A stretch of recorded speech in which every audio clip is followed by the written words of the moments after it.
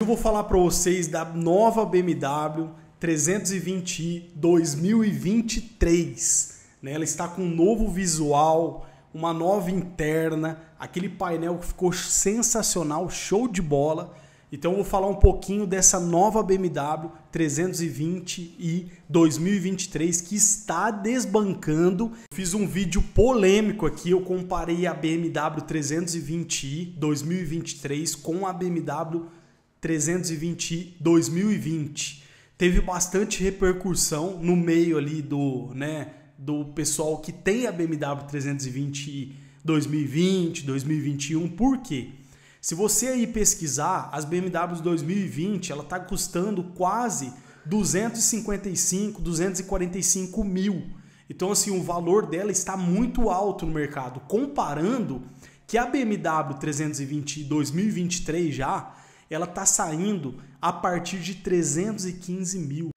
A BMW 320i ela conta com três versões. A primeira versão é a 320i GP, a segunda versão é a 320i Sport GP e a terceira versão é a 320i M Sport, que é aí que está a vantagem. Todas elas, todas essas versões, ela apresenta um motor de 184 cavalos, né? Até a 2020, até a 2015, 2014, né? É, todas elas apresentam motor de 184 cavalos autonomia muito boa, um consumo assim muito bom.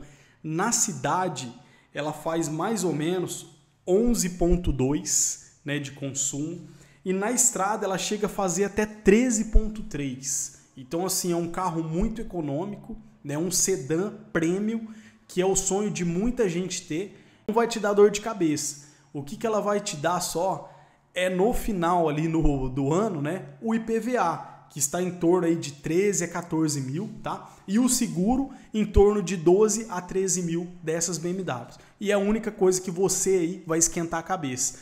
Então ela mudou completamente essa grade frontal, né? Tornando ela mais bonita.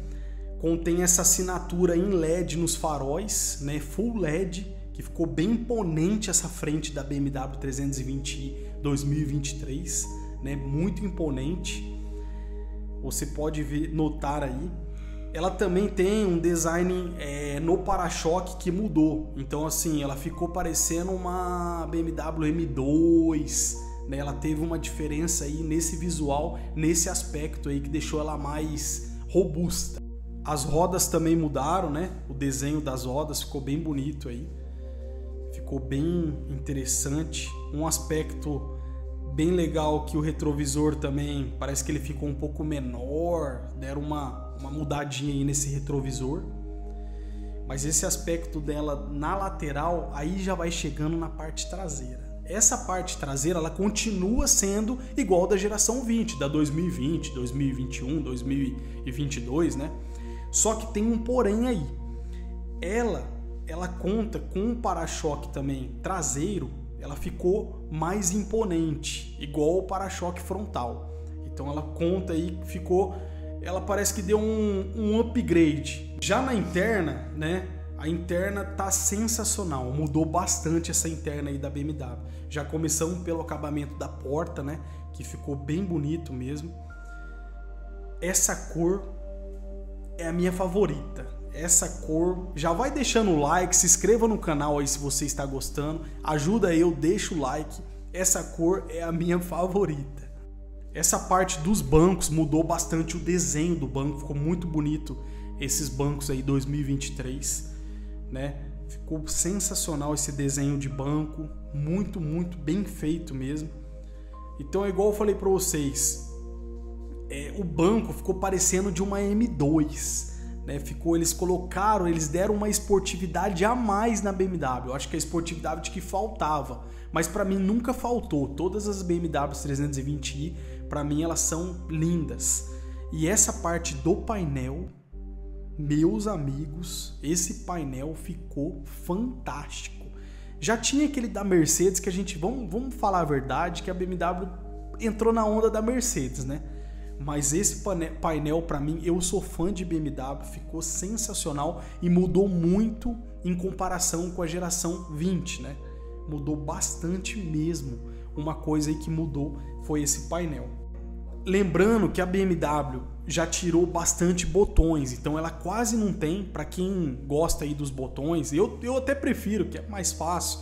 Então ela tirou, o ar-condicionado é lá no, né, no, no painel dela ali, na multimídia. Pode ver que manteve um botão do pisca-alerta, né, que é necessário, mas tirou bastante. O câmbio mudou bastante. Não o câmbio, e sim a alavanca, né? Olha o tamanzinho da alavanca ficou, ficou parecendo os Porsches, né? Ficou parecendo a, a Audi também. Então a BMW foi mais nessa vibe de Porsche, de Audi, né? Então mudou bastante essa alavanca do câmbio. Você pode ver que eles reduziram ali, daqui, daqui um tempo vai ficar liso ali. Repara que o volante muda. Por que o volante muda? Essa é a M Sport, é a top de linha, né? De 347 mil e uns quebrados, a partir aí, né? Então ela contém esse teto solar, lindo teto solar também. E essa interna, tanto na parte de trás como na frente, ó, impecável.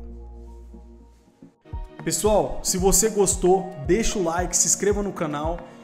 Comenta aí, deixa nos comentários qual que é o carro que você quer que, que eu gravo, né? Em 2023. Tá saindo muitos carros novos aí, muitos carros lindos. Essa BMW eu tive o prazer de, de ver ela lá em Curitiba. Ficou sensacional. Eu juro para vocês que ficou muito imponente. Eu vi ainda a BMW azul, que para mim é a cor mais linda que tem. Já pensou aquela BMW azul?